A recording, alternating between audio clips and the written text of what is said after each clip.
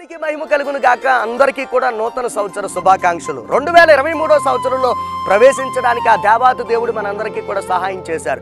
ఈ సంవత్సరాది మొదలుకొని సంవత్సరాంతం వరకు దేవుని కృప తోడుగా ఉండాలని మనసారా కోరుకుంటున్నాను. కృపాగుడారం మినిస్ట్రీలో ఉన్నటువంటి సేవకులకి సంఘాలకి విశ్వాసులకి అలాగే నాతో పాటు సహదాసులుగా పనిచేస్తున్న దైవజనులందరికీ స్నేహితులకి బంధువులకి అందరికీ నూతన సంవత్సర శుభాకాంక్షలు. ఈ సంవత్సరం అంతా దేవుడు మనతో ఉండి మనలను బలపరిచి ఆయన కృపలో వర్ధిల్లింప చేయురుగాక ఆమెన్. అందరికీ వందనాలు. ప్రైజులాడు దేవుడు మిమ్మల్ని దీవించునుగా